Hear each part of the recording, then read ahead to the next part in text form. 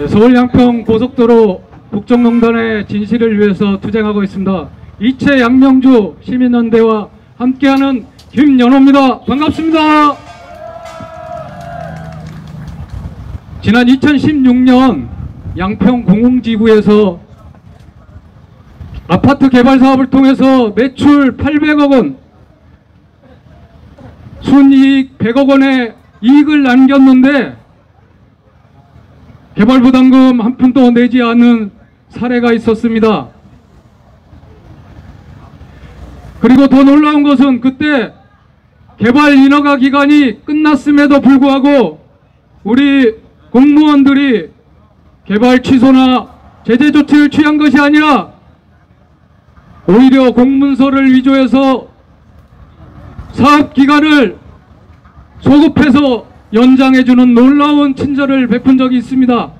이때 등장한 인물들이 김건희, 최은순 일가와 그리고 삼선 양평 군수를 지냈던 김성교 국힘당 의원, 당시 양평군을 관할했던 여주지청장 윤석열이었습니다. 그리고 이들이 2023년 다시 화려하게 등장하게 됩니다.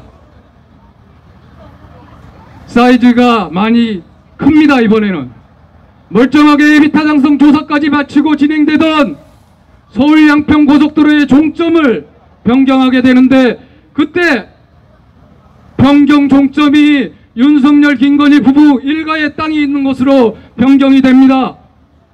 그래서 당연히 의혹 제기하고 문제 제기했습니다. 혹시 특혜를 위해서 종점이 변경된 것이 아니냐?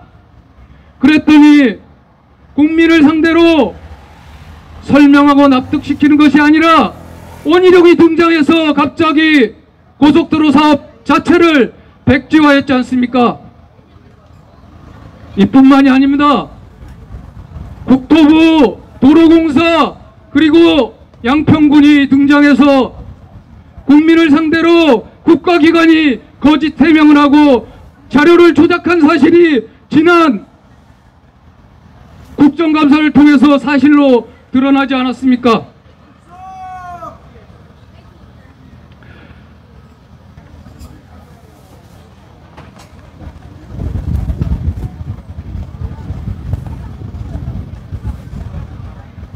이렇듯 국토부, 도로공사, 양평군이 국민을 상대로 거짓 해명하고 변경안에 대해서 집착하는 이유가 무엇이겠습니까? 혹시 국책연구기관 KDI에서 2년 동안 에비타당성 조사를 통해서 밝혀내지 못했던 원안에 대한 심각한 하자를 발견한 것도 아니지 않습니까? 원안에 심각한 문제점이 있지도 않은데 국민을 상대로 계속해서 거짓 해명하고 국민을 상대로 변경안을 집착하는 것은 변경안에 집착하는 것은 혹시 최고 권력자의 외압이 있었지 않았는가 의심하는 것이 합리적인 거 아니겠습니까? 그래서 저희들은 문제 제기했습니다. 서울 양평고속도로 국정농단 진상규명을 위해서 양평군청 앞에서 287일 동안 농성을 하면서 국정조사 특검을 통해서 과연 누가 왜 최초로 종점 변경을 지시했는가 밝혀내고 책임자를 처벌하자 이렇게 주장했습니다. 여러 정황을 종합해 봤을 때 드는 정황적 증거들을 종합해 봤을 때 드는 합리적 의심처럼 종점 변경에 김건희, 윤석열이 관여했다면 이거 명백한 탄핵 사유 아니겠습니까? 그리고 대통령 부부의 일가의 사익을 위해서 국가기관이 동원됐다면 이것은 명백한 국정문란 사건 아닙니까?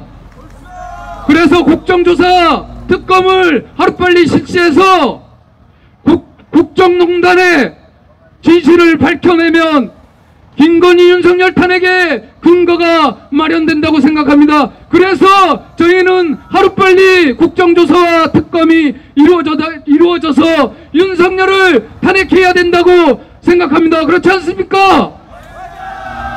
고맙습니다. 탄핵의 거기에 같이 하겠습니다.